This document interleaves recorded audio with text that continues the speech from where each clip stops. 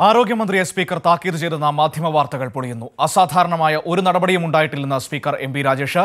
താക്കീതെന്നോ ശാസനയെന്നോ ഉത്തരവിൽ ഉപയോഗിച്ചിട്ടില്ലെന്നും സ്പീക്കർ സഭയിൽ റൂളിംഗ് നൽകി. എ പി അനിൽകുമാറിന്റെ പരാതിയിൽ ആരോഗ്യമന്ത്രിയോട് വിശദീകരണം തേടിയതാണ് ഒരു വിഭാഗം മാധ്യമങ്ങൾ വിവാദമാക്കിയത്. ആരോഗ്യമന്ത്രിയെ സ്പീക്കർ താക്കീത് ചെയ്തെന്നാണ് മാധ്യമ വാർത്ത. എന്നാൽ ഈ വാർത്തകളെ തള്ളിയാണ് സ്പീക്കറുടെ വിശദീകരണം.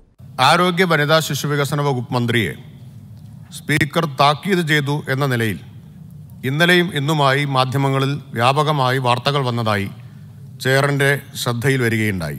സാധാരണ ഇത്തരം സന്ദർഭങ്ങളിൽ സ്പീക്കർക്ക് ലഭിക്കുന്ന പരാതികളിൽ നിയമസഭാ സെക്രട്ടേറിയറ്റ് സ്വീകരിക്കുന്ന ഒരു പൊതു നടപടിക്രമം എന്നല്ലാതെ ഇക്കാര്യത്തിൽ അസാധാരണമായിട്ടൊന്നും സംഭവിച്ചിട്ടില്ല എന്ന കാര്യം സഭയുടെ ശ്രദ്ധയിൽ കൊണ്ടുവരുന്നു.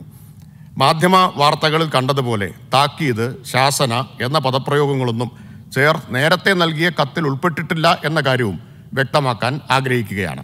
ഒരു ചോദ്യത്തിന് വ്യത്യസ്ത പിരിവുകൾക്കുള്ള മറുപടി പൊതു മറുപടിയായാണ് സാധാരണ നൽകുക. പക്ഷേ പുതിയ ഓൺലൈൻ പോർട്ടലിൽ സംയോജിത മറുപടി നൽകാൻ പരിമിതിയുണ്ട്.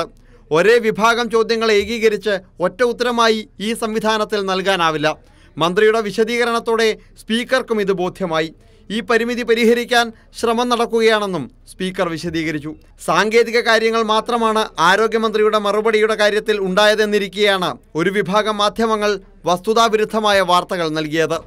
കൈരളി ന്യൂസ് തിരുവനന്തപുരം.